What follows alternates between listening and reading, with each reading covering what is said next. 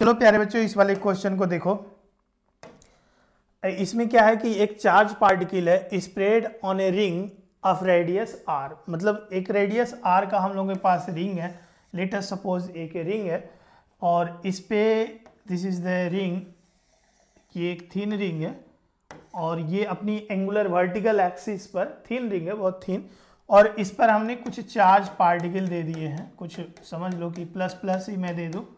तो ये plus Q charge इस पर दे दिए और ये अपनी एक्सिस पर ओमेगा से रोटेट कर रहा है। The ring is rotating at the vertical axis omega से। विथ फ्रीक्वेंसी एफ़ ओमेगा भी है तो ऑब्वियसली फ्रीक्वेंसी एफ़ होगा। अब इस रिंग की रेडियस आर है। क्लियर है? The magnetic field at the centre of the ring ring पे सेंटर पर कितना मैग्नेटिक फ़ील्ड होगा, वो हमें कैलकुलेट करना है। ये रिंग का सेंटर हो है तो वो पर हमें मैग्नेटिक फ़ील्ड की कैलकुलेशन करनी है।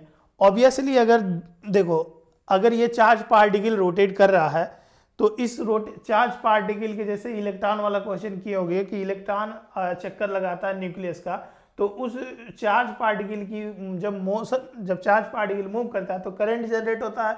तो उसके आर्बिट में एक करंट जनरेट होगी और उस करंट की वजह से यहाँ पे मैग्नेटिक फ़ील्ड बनेगी।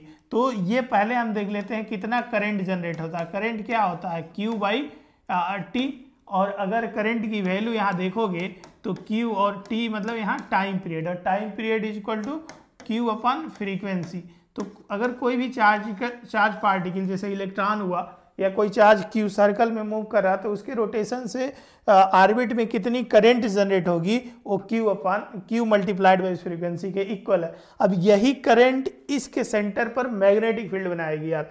तो ये जो मैग्नेटिक फ़ील्ड एट सेंटर पर हम, पहले से हम लोगों को याद है कि mu naught I two R के इक्वल होता है। तो अगर मैं आई की वैल्यू इसमें रख दूँगा तो क्वेश्चन हो जाएगा।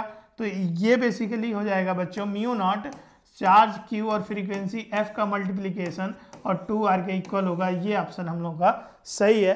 दैट इज़ बी ऑप्शन सही है। तो आई होप ये क्लियर हो गया होगा। इस रिज़ल्ट को आप याद कर लो फिजिक्स में बहुत इंपॉर्टेंट है।